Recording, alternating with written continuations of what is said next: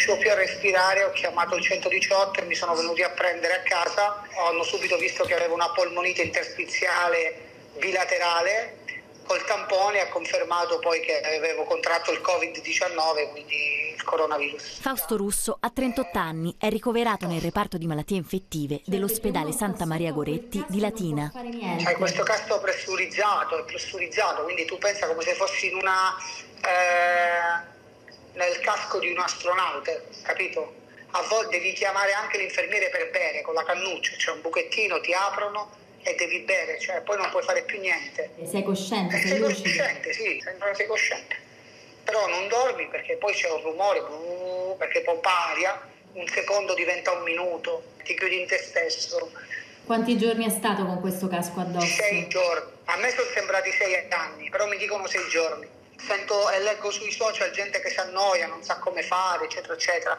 Io qua ho visto gente morire, io qua ho visto gente che come me costantemente lotta per poter respirare meglio e ti posso garantire che prova a stare in apnea, a chiudere, a tapparti bocca e naso e vedi che brutta sensazione che come se a tratti ti mettessero con la testa sott'acqua. Allora devi avere una grande forza di volontà, di animo, di controllo. Ho creduto probabilmente di non svegliarmi più. Ecco perché non ce la fanno molte persone, perché è troppo forte.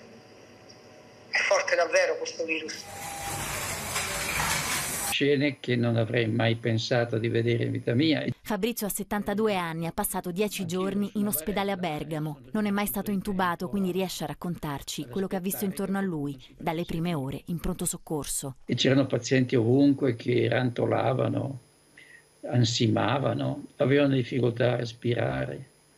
C'era chi urlava e chi chiamava addirittura la mamma, continuavano ad arrivare, ogni 10 minuti, un quarto d'ora sentivi solo una sirena, prendevano e scaricavano. C'erano queste infermiere che si mettevano la tuta, il camice la mattina e, e, e dopo 10-12 ore se lo toglievano, era un bagno di, di sudore, insomma e, e, e, senza un lamento, senza niente, anzi cercando un po' di confortare le persone. La fatica a respirare di queste, di queste persone che, eh, che, facevano di tutto proprio, eh, da metterti in condizione di capire qui sto soffocando. E lì erano tutti, la maggior parte era in questa situazione. Quando venivano chiamati dai, dai parenti erano loro a confortare i parenti, dicevano non abbiate paura, dall'altra parte del telefono è difficile non capire che chi ti chiama ha difficoltà di respirare e nonostante ciò loro cercavano di, di consolare gli altri, di dire vedrete va tutto bene e poi la solitudine in cui morivano proprio, morivano accanto in pratica. Quante persone ha visto morire Fabrizio?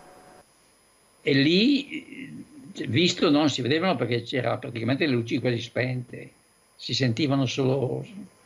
Ogni tanto portavano via una barella e ne entrava un'altra al suo posto, così. Praticamente una situazione di, di anonimi, anonimi morenti.